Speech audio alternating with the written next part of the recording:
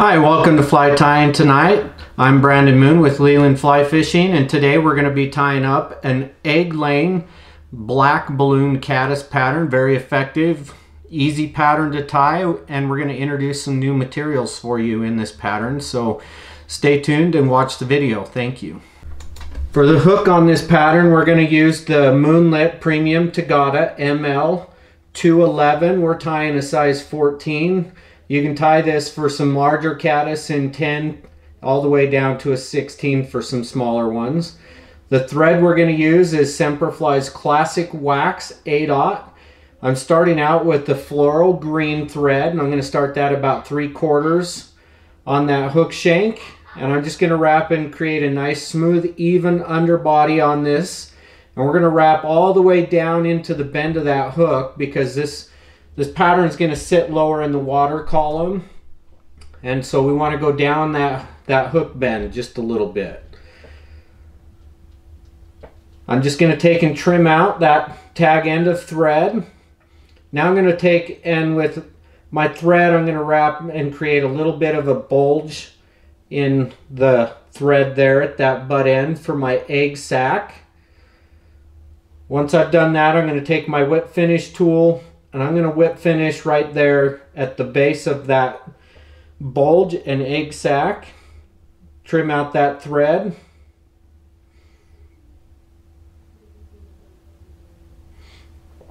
Once I've done that, I'm going to take and move and adjust that hook in my vise just a little bit.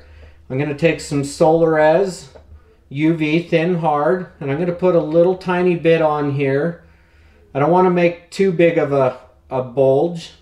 So I'm going to use just a little bit and move it around. You can see it's kind of bulged there.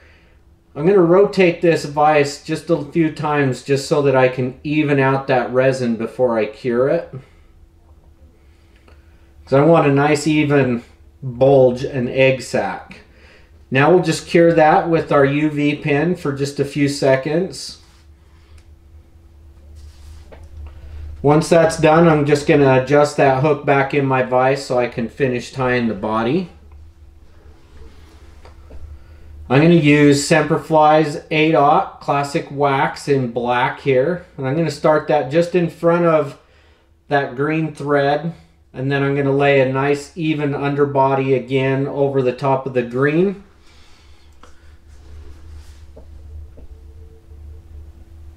We're going to go nice and easy because I want a nice smooth taper. I'm using 8-aught thread instead of 12-aught, which I usually use because caddis flies generally have a little bit thicker body. So the, the thicker thread is going to help me build up a little bit more body mass in here. I'm going to take a Magpie Premium Wild Barred Turkey Biot in Gray Drake. And I'm going to tie that in after I've moistened it with the ridge point just on the base on the bottom side of that hook. I'll secure that in. I'm going to go forward and backwards about four times to create a taper to this fly. So every time I go all the way up to the front and then I'm going to go back about three quarters of the way and then stop and go forward again. And then I'll go back again stopping short of where I stopped the last time and then forward again backwards one more time and I want to make sure that I create a nice smooth even point here where that biot's going to end up so it doesn't slip off. I'll half hitch this here so I can use the rotary feature on this vise to wrap my turkey biot. So I'm going to take the Loon Ergonomical Hackle Pliers are my favorite for wrapping biots. I'm going to wrap that with that ridge point on the back side of the fly with open spiral wraps to create a nice good even segmentation on this body. I'm going to wrap that so that it goes all the way up there nice and tight. Now I'll take my thread and secure that down. I'm going to go over the top two times just to tighten that in nice and good. Set that thread off to the side. I'm going to remove my hackle pliers and I move the thread to the side so that when I snip this out with my scissors that I don't take and snip out my thread. We'll secure that down nice and good.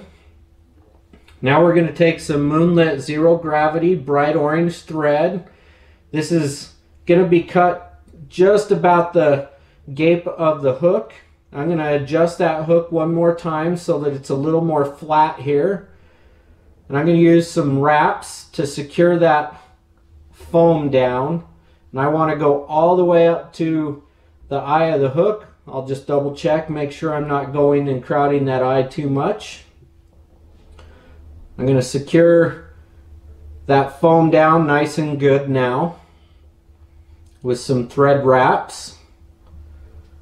Then I'll go back to the body point with my thread where I'm going to take some hogfish, Teton, hog wing, and I've got a small clump. I'm going to tie that in and I'm going to measure the tips out when I tie this in so that it goes just back to past that bend of the hook, past the egg sac. I'm going to double it over and since I wrap that forward, I can take some loose wraps and just secure that in. This is going to give me a nice, good, secure wing. It's not going to pull out. We'll trim that out nice and even. For the thorax on this fly, we're going to use Semperfli's Kapok dubbing in black. This is a great dubbing for dry flies as it floats 30 times its body weight. I don't need a lot because I've already got mass from the materials in here.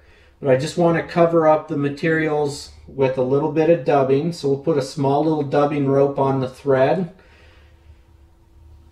And it might take two, two things of dubbing noodles or ropes as you might call it. So we'll add a little bit more here. And finish off going back to where the wing starts. And this is where we're going to take and pull the foam over to create that balloon look on this caddis. I'm using the bright orange so that I have an indicator on this as well. So once I've secured that down with a couple wraps, I'm going to take and whip finish this with a couple whip finishes. And then we'll snip out the thread. I like a razor blade to do that a lot of the times. Now we'll just take that foam and I'm just going to cut it straight across. And then I'm going to take and cut some angles for a V shape on this. And that'll just give you a nice little wing over there. And there you have the egg sucking black caddis.